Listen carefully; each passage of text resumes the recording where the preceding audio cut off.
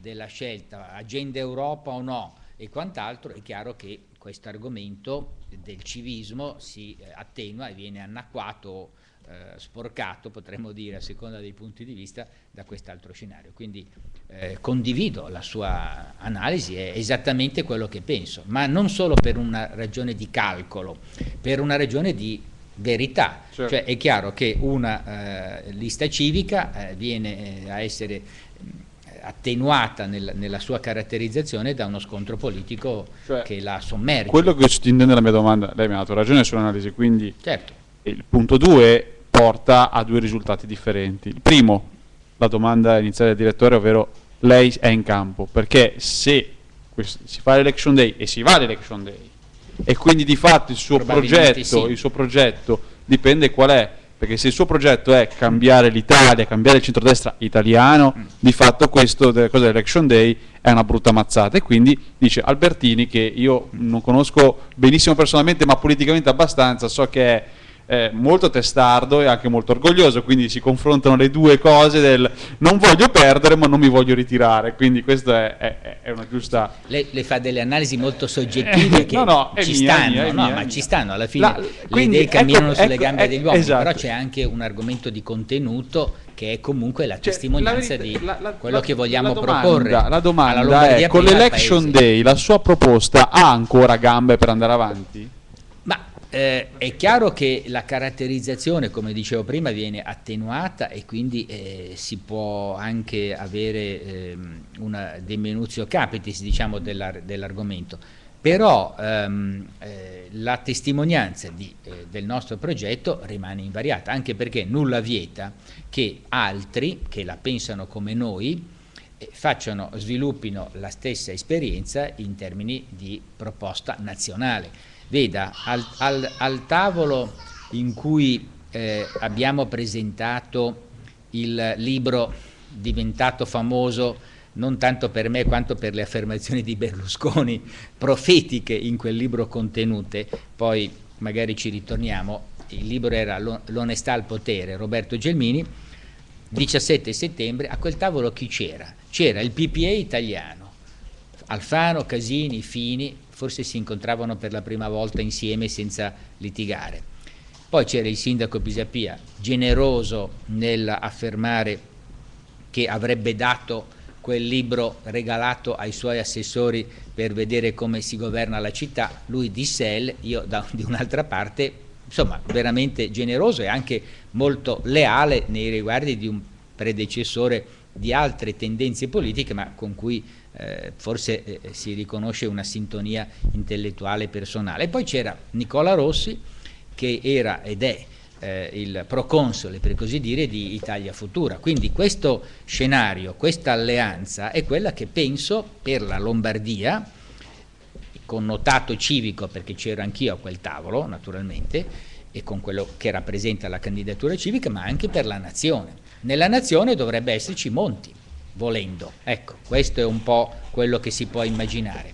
Scusa, citato Pisapia, eh, lei le piace come sindaco o no? La persona di Pisapia, il suo stile schivo, eh, la sua distanza dalla, eh, dalla libidine del potere, dal, dal desiderio del prestigio che un ruolo come eh, uno dei più importanti d'Italia, il sindaco di Milano, certamente a livello di un ministro di Serie A e poi ha un traguardo decennale, no? teoricamente, quindi per carità, però non, non è innamorato. Bene. Lui personalmente sta facendo benissimo perché ha questi connotati di vera eh, dedizione, di servizio e, ed è una persona molto corretta e molto generosa nei riguardi dell'istituzione.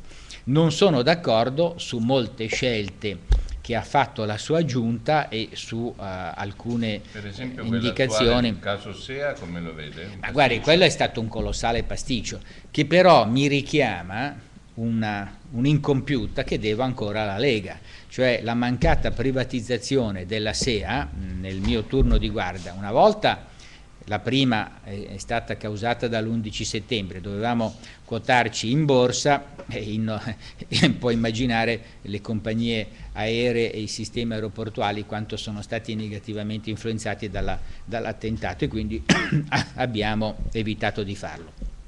La seconda era molto più tonica, perché avrebbe comportato, era una scelta diversa, avrebbe comportato un'asta competitiva con una base d'asta molto stressata sull'EBITDA, cioè sul, sugli indici di bilancio, eh, non, non, non eh, ci addentriamo in technicalities, comunque diciamo in riferimento ad altre ehm, vendite, a, ad altre transazioni di sistemi aeroportuali, i 600 milioni di euro come base d'asta per un terzo della società erano una quotazione elevata, al limite della convenienza, tant'è che dei potenziali eh, compratori se ne presentarono solo tre e di tutto rispetto la BA, British Airport Airway, che è la stessa che comprato, aveva comprato in precedenza il capo di Chino, eh, la Octif, l'equivalente tedesco, e poi c'era un fondo australiano-americano eh, che era interessato più a una dimensione finanziaria che non imprenditoriale. Comunque tre compratori che avevano dichiarato il loro interesse a concorrere tra loro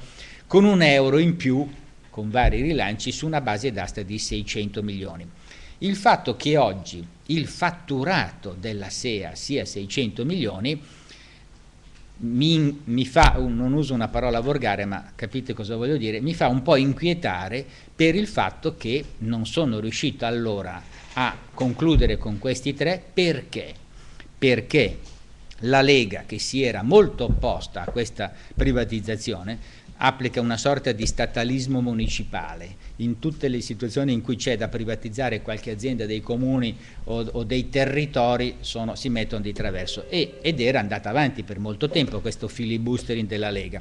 Avevo dovuto esibire più volte la firma di Bossi al programma elettorale nella quale era espressamente previsto la privatizzazione della SEA. E quindi siamo arrivati con molta difficoltà alla conclusione, ma il giorno in cui iniziavano diciamo, eh, il, le procedure per l'asta, l'asse Bossi-Tremonti, allora c'era Bossi, oggi c'è Maroni, in un altro scenario, hanno fatto un decreto, un decreto che hanno dichiarato essere nell'interesse di Alitalia, in realtà era nell'interesse dei vettori, di tutti i vettori, Alitalia avrebbe significato un 10% del 100 dei vettori, quindi in realtà si favorivano di più i concorrenti di Alitalia che non a Italia, ma certo si penalizzavano i sistemi aeroportuali, in particolare la SEA, con questo decreto del governo Berlusconi, asse Bossi Tremonti, perdeva nel suo business plan 20 milioni e a questo punto voi capite che erano già al limite della convenienza, nessuno dei tre si è presentato. Scusi. Quindi tornando a noi, questo che è successo è un pasticcio, ma quello che è successo allora è un'infamia della politica. Pensate cosa sarebbe stato per Milano avere 600 milioni in cassa con cui fare opere pubbliche, avremmo già due linee di metropolitana funzionanti, e che cosa sarebbe stato per la SEA avere un socio privato che controlla i conti, che controlla le clientele, che controlla tutto quello che c'è intorno 40 eh, alle 40.000 famiglie che ruotano nel Varesotto, chissà perché proprio il Varesotto intorno alla SEA, e avrebbe avuto un occhio attento anche agli investimenti e al progresso della società. Scusate Lei se ho preso un po' di tempo, ma ci tenevo ha a citato Tremonti, eh, facciamo un, un pic una piccola digressione sul suo secondo lavoro. Il mio secondo lavoro, non so di, se mi viene qualcosa da dire. Di imitatore, oramai eh, celebre, eh, sta eh, avvicinandosi mi devo un po' allenare. A, a, al collega Paolo Guzzanti che eh, eh, oramai... Abbiamo, abbiamo avuto una stato... gara, sì, abbiamo avuto una gara nella trasmissione Un giorno da pecora e ho perso 99 a 101, essendo padre d'arte, insomma posso essere soddisfatto di questa Ecco, e ci ricordiamo appunto che Guzzanti tra le interviste famose fu una telefonata in riunione di redazione Eugenio Scalfari imitando la voce di Pertini. Scalfari era solito poi mettere in comunicazione le chiamate e quindi tutta la redazione pensò di dialogare con Pertini, in realtà era Guzzanti. Lei una delle sue mh, imitazioni migliori è quella di Tremonti. Riusciamo, come le avrebbe detto Tremonti intorno alla SEA con, suo, con la sua R Mosce e col suo stile da professore? Guarda, Albertini, non ti interessare di cose che non puoi capire. Qui è in gioco la politica nazionale. Gli aeroporti sono per i bambini. Gioca con gli aeroplanini, vai a studiare l'inglese che non lo sai bene come me e lascia a noi grandi occuparci di tutto. I tuoi 600 milioni non me ne frega niente, noi facciamo quello che vogliamo. Io sono amico di Bossi e faccio quello che voglio e non mi seccare di più. Fantastico, devo dire veramente eccezionale.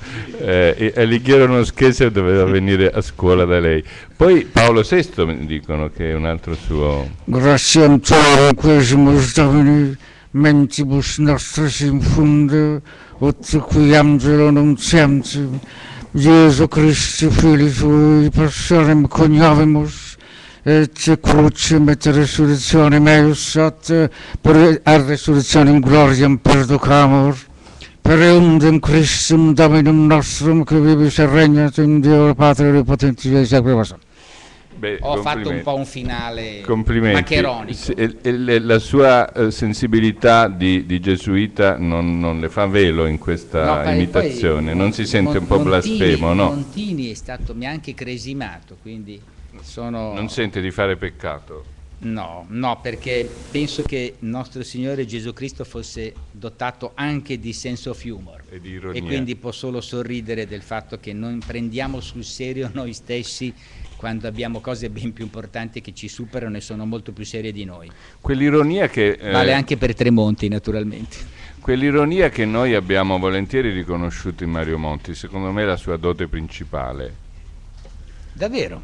Eh, anzi, posso raccontare un brevissimo episodio, una battuta che però è veramente divertente. Mm, il giorno degli Ambrogini, cioè il 7 di dicembre, il Presidente Monti mi ha telefonato perché avevamo insieme eh, raccomandato, forse è una parola che non si può dire, comunque è così che è andata, fin di bene, dai. a fin di bene, un nostro insegnante, padre Uberto Ceroni, che oltretutto ha compiuto 90 anni Ehm, in eh, settembre, ma è efficientissimo, cioè è un ragazzo di 90 anni, ancora celebra con un'omelia perfetta la domenica mattina al Leone XIII eh, la messa delle 11 e, e poi svolge ancora l'attività la, di padre assistente degli exalunni. Quindi ci siamo sentiti perché era un bel momento e naturalmente siamo andati a parlare anche delle cose che ci riguardano a titolo diverso e io mi sono lasciato andare in una immodesta comparazione con lui. Gli ho detto, siete lasciati andare all'antiberlusconismo eh, più sfrenato? Mario, no? ho detto, in fondo nel mio piccolo, molto piccolo, mi sento un po' un piccolo Monti. E lui mi ha risposto, devo dire, con un brio e, una, e, una, e un senso di humor proprio da Loden britannico, dice, beh, non sottovaluterei Montini, in fondo è diventato Papa e poi eh, meglio essere Montini che Montoni. L'ho trovato, l'ho trovato impagabile, caro, caro direttore, una frase di questa, eh, di questa peculiarità, di Questo questa simpatia. Rossella, Carlo Rossella. eh, Rossella o Agnelli? Ah, che imitava Agnelli. che imitava Agnelli. Rossella, fantastico. Sì, lo imitano in tanti, anche De Bortoli credo che abbia una buona imitazione di Agnelli. Ah, questa è una novità. Una volta De Bortoli imi- è un imitatore anche lui? E solo di Agnelli, credo. Ah, solo di Agnelli. Sì, Cos'è un'ossessione per la Fiat di De Bortoli? No, se, non, eh, non, so, può darsi per, per l'RCS forse ha significato qualcosa, ma era più Romiti. No, è che forse Agnelli... Anche lei Romiti ci racconta, ma è vero che lei è un po' figlioccio di Romiti politicamente, è quello che le attribuiscono come limite. Beh, eh, dunque, eh, sia Romiti che Confalonieri sono stati i, i, due personaggi che mi hanno presentato a Berlusconi nel 97 eh, come diciamo, referenze per eh, la candidatura a sindaco di Milano. Romiti era il presidente della Fiat e io in quel, quegli anni ero presidente eh, degli industriali metalmeccanici italiani, quindi la Fiat era il principale associato di Federmeccanica e Confalonieri era nel comitato di presidenza della Solombarda e io ero Ma lei è orgoglioso di questi progenitori o, o è preoccupato? Sì, assolutamente sì e sono eh, anche, devo dire, grato perché sempre nel libro di cui abbiamo lasciato sospesa una citazione eh, nel libro L'onestà al potere di Gelmini ci sono due interviste, una a Romiti e una a Confalonieri, dove parlando alla Paolo VI, quando rispose a Jean Guiton che fece un libro Dialoghi con Paolo VI, gli mandò un telegramma, posso dire lo stesso di loro, nimis de nobis dixisti. Hai parlato troppo bene di noi, noi il Papa naturalmente, plurale maestati, se io posso dire lo stesso, hanno veramente, sono stati molto generosi con eh, la mia modesta persona e io posso essere grato del fatto che mi abbiano dato fiducia e poi non l'abbiano smentita dopo che eh, ho fatto quello che ho fatto. Eh, Gelmini mi viene in mente la Gelmini, molto agitato in questa fase. Come vede questi del PDL molto vicini a Berlusconi, un po' strattonati o no?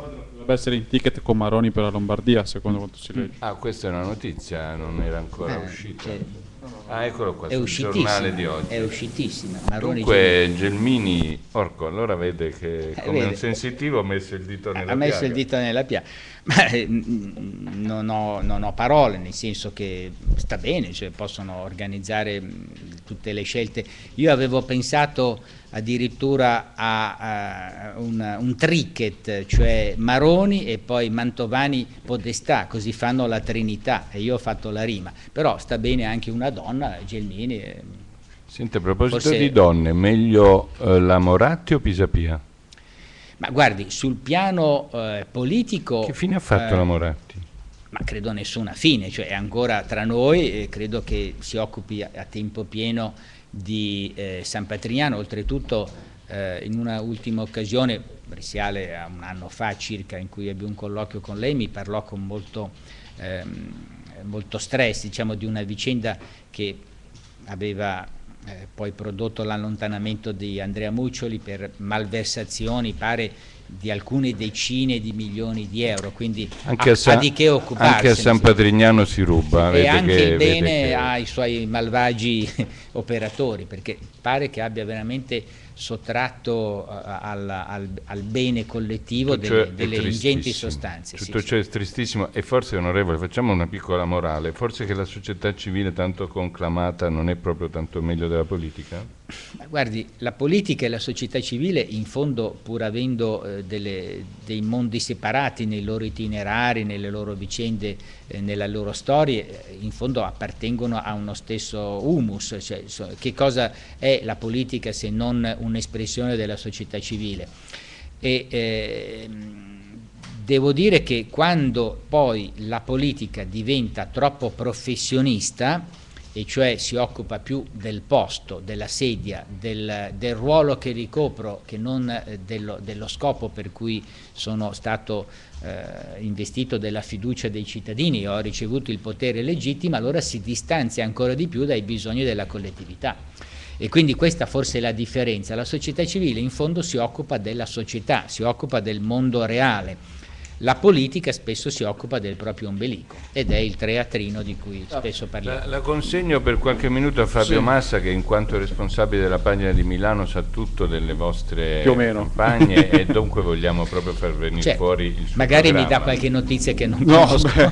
no, per- la, prima cosa che, la prima cosa che le volevo chiedere, visto che prima si parlava di Confaloni, ieri comunque di sponsor, no?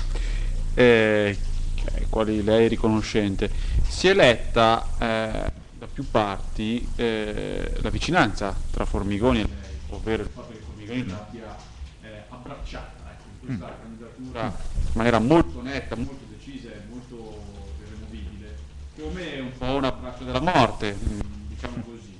Eh, Povero Formigoni, Povero Formigoni, lo trattate un po' male. Devo dire che da fonti leghiste, questo lo dico mh, perché parliamo quotidianamente con fonti di tutti i partiti, con fonti, da fonti leghiste, e da più parti sono detto che Albertini abbracciato a Formigoni non va bene, non, da- non- non va bene oggi, non andava bene ieri, viceversa un Albertini candidato eh, di tutta una- un'area sarebbe stato anche sostenuto. Ma- Lei ha detto che non vuole fare il calcio dell'asino a Formigoni, però insomma l'appoggio a Formigoni l'ha aiutata o l'ha danneggiata? Ma guardi, intanto se mi permette, eh, diciamo, prendo l'argomento da un'altra visuale. Eh, non so se mi ha danneggiato eh, o eh, favorito, certamente ha reso problematico all'interno del PDL eh, l'alternativa secca Maroni, o meglio l'alleanza con la Lega e questo è un aspetto eh, positivo, nel senso che condivido questa linea che poi è la stessa di Maroni, e cioè eh, un rapporto contro natura. Ma eh, tornando alla questione che lei mi pone, io non mi sono posto se è conveniente o no quello che eh, ehm, può essere da alcuni ritenuto eh, come um, un'alleanza, un accordo, una vicinanza che per i problemi che stanno toccando il Presidente Formigoni mi possa nuocere sul piano della popolarità. Io ho sempre distinto tra eh, il governo della Lombardia, quello che è avvenuto in questi 17 anni, tutto perfettibile, tutto migliorabile, eh, però comunque il miglior governo eh, d'Italia, eh, non sono io a dirlo, sono i numeri che possiamo ripetere e ribadire per tratti essenziali, non ci sono altre regioni in tutta Italia che hanno il bilancio della sanità che come sappiamo è l'80% del tutto inattivo dal 2001, ce ne sono alcune che in qualche anno sono state in attivo, qualche altra no, forse negli ultimi, la Lombardia da quando... Ma lei l'ha detto, l'onestà al potere. Appunto, poi, poi non è una cosa 700, da poco. Eh. Non è una cosa da poco. Poi 768 milioni è il credito dell'ultimo anno, non conosco quello degli anni precedenti, ma sono sempre stati in attivo che, il che significa che cittadini della Liguria, del Lazio, della Sardegna, di altre regioni d'Italia, per un valore di quasi un miliardo, comunque vicino al miliardo, hanno scelto di venire a farsi curare in Lombardia e non nelle loro regioni. Quindi, l'abbiamo detto, economicamente in equilibrio, qualitativamente inattivo anche sotto questo profilo. Allora dice, beh, allora si farà pagare una cifra esorbitante ai cittadini lombardi, il ticket, beh, allora 10 milioni sono gli abitanti, oltre 5 milioni sono esenti da ticket, 36 mila euro reddito al di sopra del quale si paga, al di sotto no, adesso è arrivato a 38 mila, meno di 14 anni, più di 65 sono 5 milioni. In relazione al numero di abitanti è la migliore performance di tutta Italia. Allora io devo buttare via questa realtà e per non parlare di altri, i dipendenti della Lombardia nel 95 erano quasi 5.000. Non sto parlando però della... No, io sto parlando del governo. Stiamo parlando di Formigoni. No, C'era io... anche la, la cattiva Lega con l'assessore alla sanità. Sto parlando sì, del governo della Lombardia, cioè di quello che è successo e è stato fatto succedere, perché quando le stavo dicendo troviamo nel 95 4.800 dipendenti, adesso sono 3.600 gli abitanti sono cresciuti, il PIL è cresciuto, in, in, Sicilia con la metà degli abitanti e un decimo del PIL sono 30.000, quindi questo è il governo. Poi gli episodi di Formigoni per i quali è indagato, forse avrà un processo, non lo so, ancora non, non risulta che sia stato rinviato a giudizio. Allora io le faccio tre nomi, Vendola, Errani, Del Turco, sono tre presidenti di regione. Vendola addirittura ha avuto un pubblico ministero qualche settimana fa che ha chiesto un anno e otto mesi in un processo in corso per reati contro la pubblica amministrazione, è stato assolto con formula piena. Errani, anche lui è andato sotto processo, aveva abuso d'ufficio, altri reati anch'essi contro la pubblica amministrazione, è stato sconfessato l'impianto accusatorio con una soluzione piena. Del Turco addirittura è stato in galera, è stato messo eh, agli arresti per mesi, e dopo sette anni eh, le false accuse, secondo la giustizia degli uomini, risultano false e sono state cancellate. Allora mi domando perché per questi tre presidenti di regione abbiamo un atteggiamento e il beneficio del dubbio per Formigoni non viene convenientemente applicato. Io non lo difendo suoi, sulle sue frequentazioni, lui stesso ha ammesso che frequentare Dacò eh, andare sulle sue barche, fare le vacanze insieme è stato qualcosa di sconveniente, perché non è un imprenditore che ha inventato un, una nanotecnologia eh, per la quale un robottino eh, toglie gli ictus dal cervello, è un faccendiere, un brutto termine, diciamo è un lobbista che si occupa, si occupava di rapporti tra eh, imprese private nel settore della sanità, ma non solo, è la regione. E quindi avere un rapporto col, col, presidente della regione induce a ritenere che ci fosse sotto qualcosa, però al di là delle prove che ancora devono essere affermate, è stata un una relazione sconveniente. Però detto questo, vale il bambino del buon governo e va buttata via l'acqua sporca di queste okay. situazioni. Senta, eh, facciamo una domanda invece più contenutistica, no? dopo aver fatto tante domande su persone e cose. Mm. Eh, domanda che faccio spesso anche a, a, a, ho fatto a tutti gli altri candidati alle primarie, ad esempio, centrosinistra. Eh, spesso si vive una sorta di milano-centrismo, questo vale an- ancora di più per lei, no? Noi viviamo le regionali, essendo a Milano, Midi, eccetera, viviamo le regionali come una partita molto milano-centrica, mentre in effetti la partita della regione, per esempio Formigoni, il suo consenso non ce l'aveva a Milano, ce l'aveva Lecco, Varese, Bergamo, Brescia, cioè ce l'aveva Lecco sicuramente perché... Lecco perché c'è il cognato. ma, no, ma perché è nato lì. Ah, oltre che sì, beh, certo. sì. Il, eh... Hanno fatto, scusi, una cosa sì. divertente, nella stessa classe eh, c'erano eh, Formigoni, l'assessore Goggi, assessore al traffico, professor Goggi, Politecnico Goggi, sì. e Castelli. Eh, nella stessa classe, esempio, tutti di lei. Una cosa originale. Ecco, io quello che le chiedo è, mi dice tre motivi, quindi le chiedo tre motivi, tre punti del suo programma, magari molto asciugati, che però potrebbero convincere un abitante della Valtellina o del Mantovano a votare per Albertini, ex sindaco di Milano. Ma guardi, il, il, il motivo le dice tre motivi, io ne dico uno che vale per tutta la Lombardia, non soltanto per Milano, anzi Milano forse è meno coinvolta perché ha, delle, ha, il terziario più sviluppato del primario o del secondario anche, cioè dell'industria meno che meno dell'agricoltura. Però quando si parla di lavoro che si perde, di eh, persone eh, che magari non sono più giovani e, e, e sono licenziati o sono in mobilità, eh, tutto quello che riguarda l'incentivo che può essere dato per, per, facilitare il lavoro dei non più giovani attraverso interventi, magari eh, incentivi regionali per, per, per le assunzioni di questo personale nelle aziende, so troveremo il modo. Poi ci sono delle mh, eh, professionalità che avrebbero una domanda ma che mh, non hanno un'offerta, panettieri, alcuni eh, operai specializzati. C'è questo mito del lavoro intellettuale che magari a Milano può ancora funzionare, ma in, eh, in altri luoghi della Lombardia eh, ci sono le, le, fabbrichette, ci sono gli artigiani che magari avrebbero eh, da assumere qualcuno e non sono in grado di farlo. Poi eh, le 923 aziende municipalizzate non sono tutte a Milano e eh, qui abbiamo un un'altra divergenza con la Lega.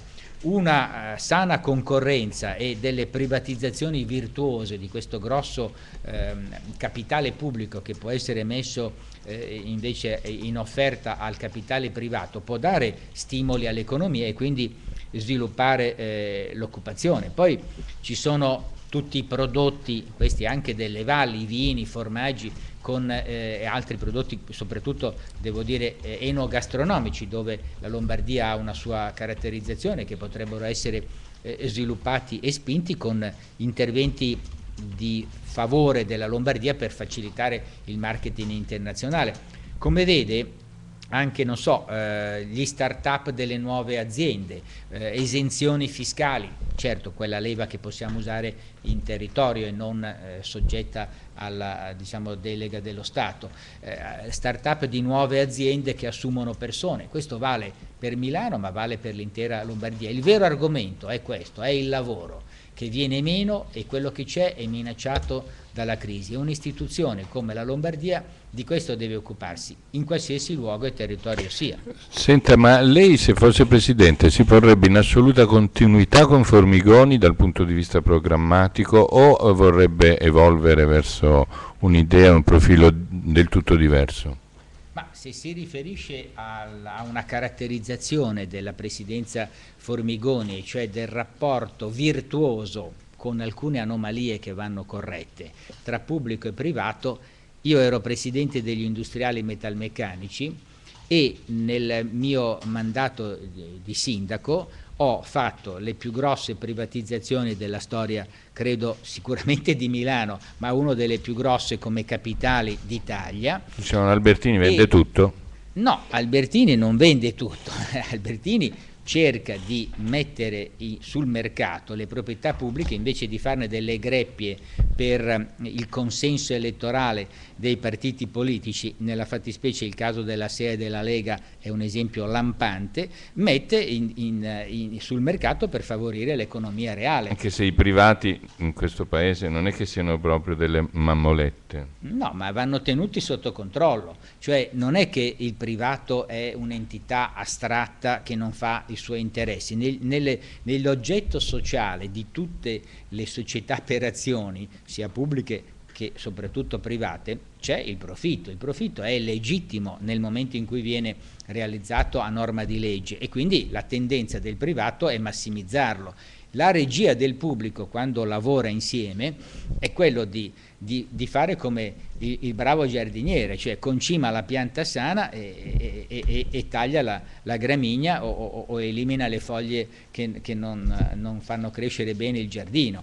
E questo è quello che si fa nel rapporto col privato. Quindi Formigoni lei sarà una, un uh, epigono sono o vuole essere un, un, rivoluzionario? Sono liberista alla, a, a, con molta convinzione, quindi opereremo nel rapporto con il privato, se questo è un, è un connotato eh, che vogliamo recuperare dell'amministrazione Formigoni, però lo faremo con criteri molto rigorosi, soprattutto per mettere veramente in concorrenza sia gli istituti pubblico-privato con coerenza e con trasparenza e sia anche le scelte. Forse c'è un connotato che correggerei della linea Formigoni. Quando si è al governo da quasi vent'anni, con la stessa parte politica e si ha intorno a sé un mondo organizzato e eh, molto capillare di presenze e di consenso, mi riferisco alla Compagnia delle Opere ACL, inevitabilmente, anche quando non si ha questa intenzione, ma è come un, un fiume carsico, diciamo, che eh, porta a questi eh, effetti non desiderabili, si tende a favorire eh, chi fa parte dello stesso mondo piuttosto che la qualità e la professionalità. Ecco, questa sarebbe una cosa che correggerei, non perché ci siano degli illeciti, ma perché ancora, ritornando al punto 1, sono delle situazioni dove la concorrenza sul merito viene attenuata dai valori dell'appartenenza, dai rapporti fiduciari, dal fatto di essere nella stessa famiglia politica. Sì, e questo nuoce relazionale, alla... come si dice. Esatto, questo eh, nuoce alla qualità la, del servizio la, e alla qualità del governo. La sua avversaria, il potere. La sua avversaria Kusterman ci diceva che ehm, è un po' da demitizzare questa logica formigoniana del, del privato nella sanità, perché in realtà è un privato con gli accreditamenti, cioè un privato che viene pagato dal pubblico e che fa ciò che il pubblico gli rimborsa,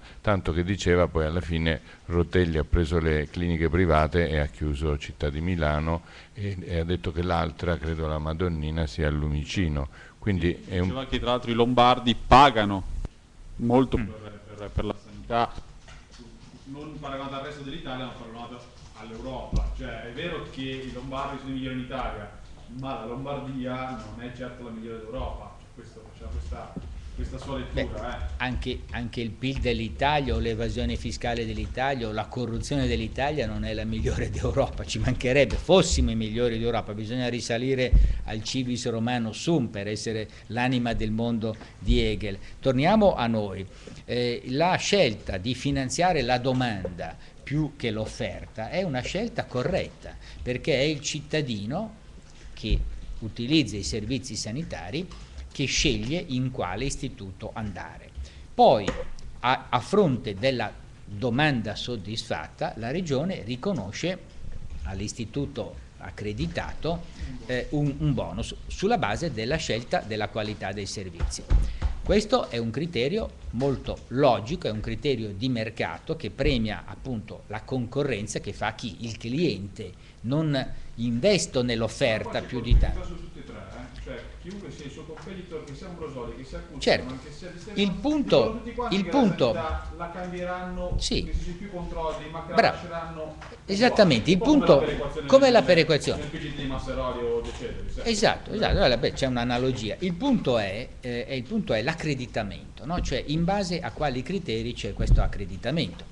Un criterio che cambierei nel senso che introdurrei con più vigore questo aspetto, è mutuato dagli, dagli, episodi disdicevoli, ancorché non arrivati a sentenza, ma sono circostanziate e condanne, Maugeri e, e San Raffaele. E Santa Rita? sono anche, ma lì diciamo è più dal punto di vista della malversazione dei singoli, lì ci sono dei reati penali consumati da medici i, i sì. cui controlli evidentemente ehm, eh, per i quali i controlli non sono stati E la regione pagava. Nel caso delle due, eh, delle due invece entità sono due fondazioni.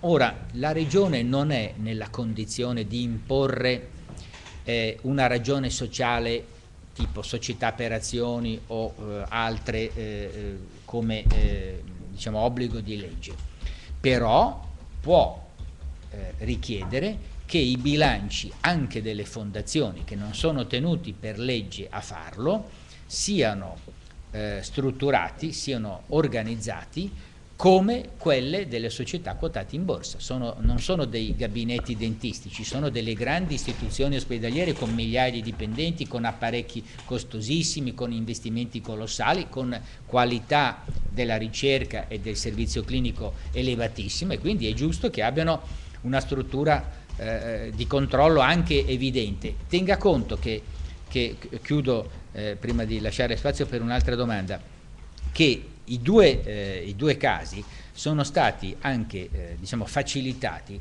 dall'opacità dei bilanci che era possibile per legge, come quello dei, dei partiti politici. I partiti politici sono organizzati dei bilanci opachi per poter fare quello che vogliono dei capitali che ricevono dallo Stato. Le fondazioni non sono tenute ad avere i certificatori, i revisori, né delle diciamo, situazioni contabili come quelle delle società quotate in borsa. Ora è chiaro che ci possono essere dei falsi, ci possono essere dei manipolatori, ci sono stati anche di imprese private, addirittura dei casi mondiali di eh, bilanci fasulli. Eh beh, però insomma c'è una barriera d'accesso in più che può favorire quello che è l'intervento che correggerei, cioè maggiori controlli ma anche elementi di trasparenza che li agevolano. L'ultima domanda che non c'entra niente, però personale, per capire che è arrivato Albertini.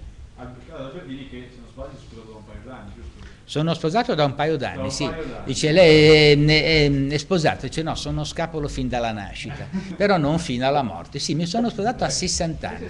Sua moglie che cosa dice di questa ennesima Ma ha fatto il sindaco per mia moglie che era, che era allora, allora, mia moglie che era allora, eh, quando ero sindaco, la mia compagna, ma non ero sposato, e allora non aveva visto bene questa cosa, non le era piaciuto anche perché ero diventato intrattabile, nel senso che il sequestro di persona del consenziente ne sa qualcosa Cinzia Sasso con, quale, con la quale ci si confida a volte per co cosa succede del marito e vorrei che si incontrassero le due anche perché mia moglie è di sinistra quindi, eh, quindi ah, potrebbero ah, trovare una, una, sintonia questa è una notizia sì, moderata, eh, moderata, non è nei, nei centri sociali bersaniana, Però, bersaniana? Mm, ma forse è, è. È più, è, più, più, vicina a Renzi che a, ah. che a Bersani però ha apprezzato anche lui quando non c'erano queste alternative così secche e invece in questa seconda fase, questa che stiamo facendo adesso, mi incoraggia moltissimo, è molto solidale ed è assolutamente al 100% con questa mia battaglia. Ci dà duro su Berlusconi che...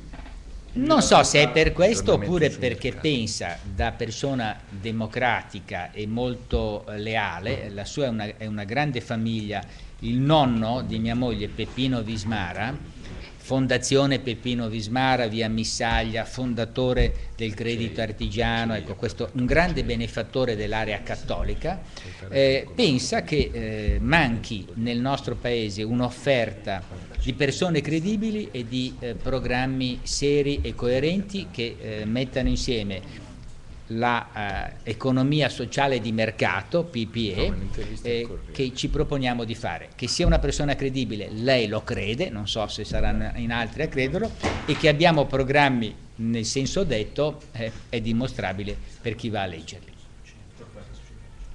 Eh, una domanda più tecnica, un po' più di diritto. Eh, lei crede nella governance delle moderne eh, nazioni a livello regionale? O forse è più adatto paradossalmente il livello provinciale che peraltro stiamo massacrando e buttando via? Io ho eh, creduto e credo in due livelli di sussidiarietà. Uno è quello comunale, un po' perché ho fatto il sindaco, un po' perché il riscontro di quello tutte, è fuori discussione. Tutte le statistiche, è più vicino alla, alla dire, gente. Magari 8.000 comuni sono troppi, ce ne sono alcuni con qualche centinaio di abitanti, non hanno senso. Eh, il livello regionale lo vedrei, quindi salterei le province, non, non, non dovrebbero secondo me esserci province, dovrebbero essere città metropolitane e comuni. Il livello regionale però la vedo come miglio, tant'è che una delle proposte irrinunciabili, che peraltro non sono state neanche prese in considerazione ma se ne comprende la ragione, è quella della costituzione della macro regione del nord, che però non è quella che pensa Maroni le tre regioni dove c'è un presidente leghista, è il collegio elettorale nord-ovest e nord-est del Parlamento europeo, quindi include sì Piemonte, Lombardia e Veneto, ma anche Valle d'Aosta, Liguria, Emilia Romagna, Friuli e Trentino. E alla stessa stregua, sempre seguendo il principio di Miglio, non vedrei 20 regioni, il Molise che va a votare ha 300.000 abitanti, è un decimo della sola provincia di Milano, un'assurdità, un'assurdità concettuale, istituzionale, politica e anche diciamo spending review, immaginate cosa vuol dire avere una regione con 300.000 abitanti. Quindi nord, centro e sud, sì, tre grandi regioni. Sì, come, come nell'idea di Miglio, l'unico vero pensatore della Lega. Eh, volevo sentire Alberto. Una sì. cosa, mi scusi, mh, ho Dobbiamo visto che perché deve partire. Sì, sì, ho Va visto che no, posso stare anche qualche minuto in più. Eh. Prego. In realtà il, ehm, la proposta di Maroni è l'Euroregione, lei l'ha banalizzata in Piemonte L'Euro? L'Euroregione, lei l'ha banalizzata un pochino in Veneto, Lombardia, Beh, ma è quello Piemonte, detto, però. però. non è eh, comandiamo in queste tre e facciamo comunque però vedo un, un'apertura sull'Euroregione o sulla macro regione de, del nord invece sull'altro tema importante della campagna di Maroni sul fatto di tenere il 75% delle tasse nella regione dove vengono prodotte questo è campagna elettorale o... Beh, sì, è chiaramente un, un, argomento squisitamente demagogico, nel senso proprio greco del termine, conduco il popolo. È chiaro che a una regione che già è punita per il fatto che produce e altri consumano, dire una, una cosa del genere può fare piacere. Io invece che eh, Maroni leggerei il libro di Ricolfi, Il sacco del nord, dove questi argomenti sono trattati a un livello scientifico e sono sviluppati con dei criteri quali quantitativi, non solo questi concetti astratti che tengono allegra la gente ma che non risolvono il caso. E in quel libro che suggerisco all'attenzione di chi ci ascolta non solo di leggere ma di studiare, sono rappresentati i riferimenti eh, di produzione di reddito e di spesa pubblica di ogni territorio. E succede questo, che per esempio sul credito debito fiscale la Lombardia ha un'evasione fiscale del 12% a livello europeo sul proprio PIL e la Calabria ha l'85% e quindi non puoi non tener conto di quanto si trattengono direttamente i cittadini rispetto alla produzione che fanno quando stabilisci i trasferimenti, per esempio. Poi c'è il credito di efficienza. Se al Santo Bono di Napoli una siringa costa il doppio o il triplo che al Policlinico di Milano, è evidente che c'è qualcosa che non funziona.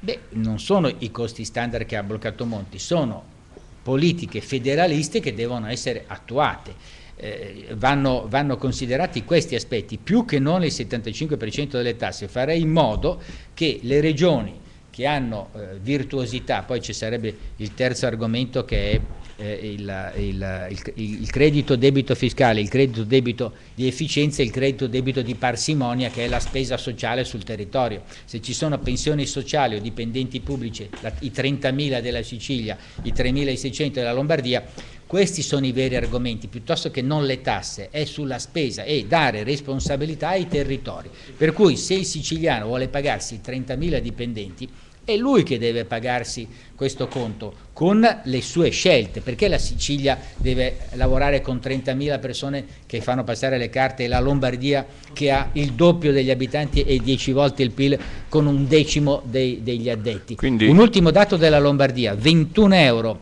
pro capite costo del sistema istituzionale e burocratico della Lombardia, media nazionale 109 e dovrei dare un calcio dell'asino a Formigoni, non credo. Quindi un Albertini che si conferma laboratorio di contaminazioni perché eh, formigoniano, ma in freddo con Berlusconi, ma con la moglie di sinistra renziana. Sono gesuita e, e, e, vicino a Miglio, quindi ragazzi stanno succedendo delle cose fondamentali in questa nostra riunione. Eh, un, un, ultimo aggiornamento dalla borsa prima sì, di... allora un 360. No, rimane, si è stabilizzato intorno ai 350. Vedi, lui, lui sta, sta, cercando di, di, di No, è perché i mercati di... sanno che non vince Berlusconi, allora sono meno Stabilizzato sui 355, la borsa di Milano continua ad essere la, la peggiore d'Europa. Sta gufando. 3,38%. Eh, Credit, no, Suisse, è d'accordo, Credit Suisse è d'accordo con lei perché dice che gli effetti non saranno così disastrosi. Chi? Credit Suisse ah. perché i mercati si aspettano una vittoria della coalizione Bersani, meglio ancora se accompagnato dai centristi. Eh, sì, perché se dovesse vincere Bersani con Vendola, che chiede, che chiede l'uscita dalle regole peraltro incomplete, sono d'accordo con lei, sull'articolo 18, credo che i mercati avrebbero qualcosa da dire come? Sull'inaffidabilità della nostra capacità di gestire il debito. Ci sono anche i primi commenti politici, oltre a Fassina, ascoltato da noi di, di Affari Italiani, che ha detto che la colpa è determinata da chi ha voluto causare questa instabilità eh, per qualche voto in più, con evidente riferimento Ossessione anti-berlusconiana. Ma un'uscita eh, per certi versi più sorprendente ma non meno dura è quella del presidente della CEI Angelo Bagnasco che ha detto che non si può mandare in malora non si possono mandare in malora i sacrifici di un anno che sono ricaduti spesso sulle fasce più fragili. Va bene. Eh, la politica però, l'ha già anticipato Paolo, mi pare Io, silente, no? Mm, no, la politica non ci sono reazioni in questo momento, si aspetta probabilmente di vedere i mercati appunto come si assisteranno. La mia domanda invece per uh, l'eurodeputato era la seguente. Eh, lei ha detto che in Italia vorrebbe creare un, un partito movimento che si ispira al Partito Popolare Europeo che immagino si andrebbe a uh, sistemare al centro del, panor- del panorama politico italiano. Centro che in questo momento è direi quasi sovraffollato e molto frammentato, c'è Casini, Fini, Montezemolo, Riccardi, Olivero e via dicendo. Eh, cosa succederà nei prossimi mesi eh, al centro e lei in, in, quale ottica si pone rispetto agli altri soggetti che, che stanno cercando di creare un, un partito unitario? Può essere Monti l'aggregatore? E io eh, rispondo con le stesse parole di prima, cioè quel giorno è stato solo un giorno, un'ora, tre ore di incontro, quel tavolo era composto dal Partito Popolare Europeo in Italia, in Italia si è disgregato, in Europa si mantiene, poi c'era il civismo di una candidatura civica e c'era il sindaco di Milano benedicente, ma c'era Nicola Rossi, cioè eh, Italia Futura. Cioè, questo è l'aggregato che in Lombardia può partire e può essere il paradigma di quello nazionale. Manca per il nazionale il leader e io naturalmente spero e penso che lo faccia Monti, eh, che lo faccia Monti e, e, non so se lo vorrà fare, forse questi ultimi scenari lo inducono a, a ritenerlo possibile perché prima doveva essere il garante di una coalizione. Il PDL l'ha fatto cadere anticipatamente per i suoi calcoli elettorali e a questo punto la mani libere e infatti il primo gesto è stato no, non mi faccio rosolare fino a marzo, andiamo a febbraio e se scende in campo eh, la benedizione del cardinale Bagnasco dice qualcosa su quello che può avvenire anche nel mondo cattolico. Eh, il Sacro Monti, il nostro libro, lei è uno dei testimoni di, questa, di questo resoconto di Claudio Bernieri perché è stato appunto con Monti compagno al Leone. Siamo ex alunni entrambi dei, dei, dei gesuiti. Sì. Eh, lei si sarebbe recato al Quirinale per dire ciò che ha detto Monti, cioè statevi bene? Ma eh, ho molto apprezzato la dignità e anche eh, diciamo, la schiena dritta eh, di Monti, lui ha, fatto, uh, ha svolto queste funzioni eh, per spirito di servizio, è stato chiamato, eh, non l'ha cercato, eh, ha agito con molta direi efficacia pur nei limiti del tempo e della criticità in cui si è trovato. Nel momento in cui viene meno, beh, non sta al gioco eh, di sostenere l'alleato, diceva Lenin, come la corda sostiene l'impiccato. Ha tagliato la corda, nel senso che ha tagliato il cappio, Berlusconi ha la responsabilità di aver, fare, di aver eh, fatto eh, chiudere anticipatamente la legislatura, ne risponderà ai suoi elettori. Ma lei dice che sarebbe stato meglio un mese in più di Monti o è meglio un governo legittimamente votato un mese prima? Io avrei preferito la fine naturale della legislatura perché alcuni eh, provvedimenti in corso di approvazione sono molto complessi, la legge di stabilità, le province, altri, e richiedevano il tempo previsto e stimato di qualche mese e quindi la fine della legislatura non è un'interruzione della democrazia, anzi è il rispetto delle regole che, con cui si gestisce il consenso e il dissenso. Il voto elettorale va a una naturale scadenza. Non c'era nessun motivo se non quello di fare l'accordo con la Lega del, del, famoso election day per mettere insieme la Lombardia con le politiche per fare cadere prima il governo. Mi disse il eh, responsabile dell'ufficio studi di, di, Mediobanca che opera a Londra e ha il polso del mercato che il vero problema è l'incertezza su chi sarà al governo, non sul fatto che cambi il governo. Cioè chi si insedierà e chi garantirà appunto dei debiti di questo paese. Questo è il punto. Certo, è l'agenda Europa. Quando siamo partiti parlando dello spread, no?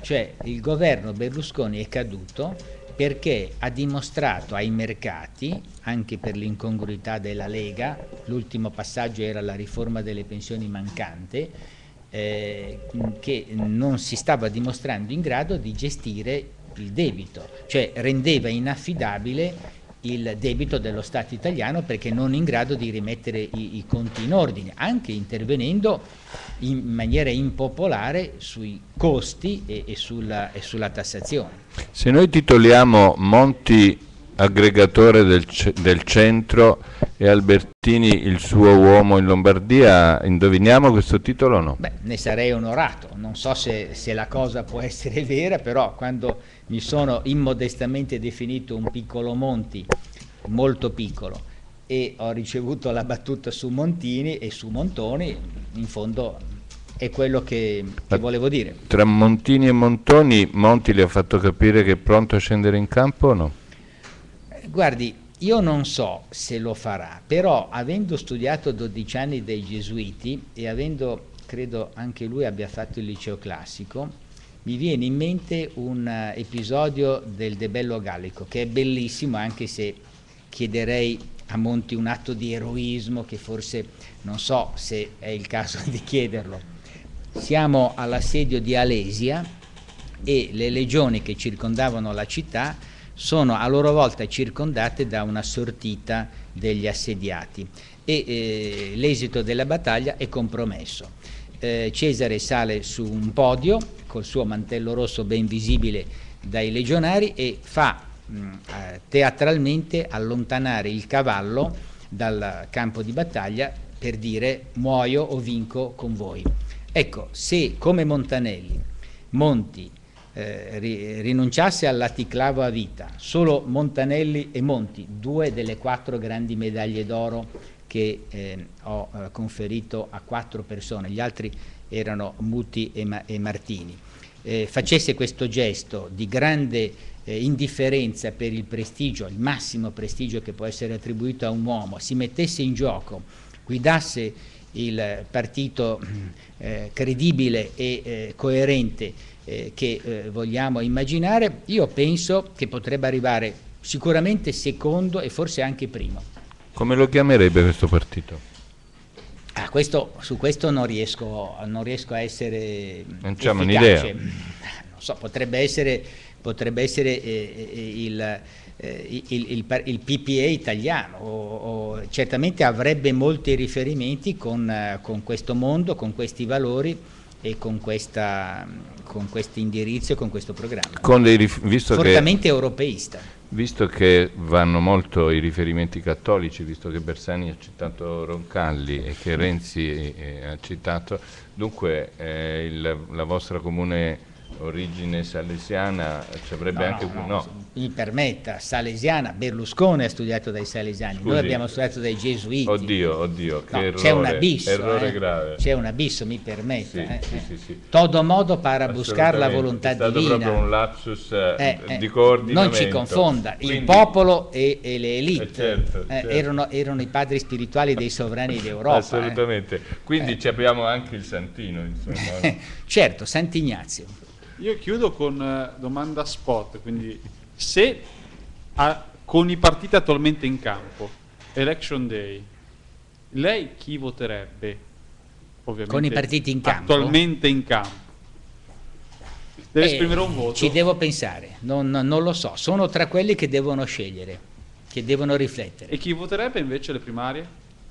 Alle primarie della sinistra? Sì, per il candidato c'è centro-sinistra. Beh, non, è che, come sono sfidante? non è che ne siano rimasti molti, poi comunque ho già detto ad Ambrosoli, quando in un primo tempo aveva rifiutato, gli ho offerto di entrare nella lista civica, naturalmente per una ragione anche di garbo ha rifiutato, poi adesso lo troverò come concorrente, però ribadisco quello che ho detto in privato a lui e in pubblico ripeto oggi, che se fossi eletto governatore della Lombardia chiederei a lui, non alla sua squadra, a lui personalmente di fare l'assessore alla legalità e alla trasparenza.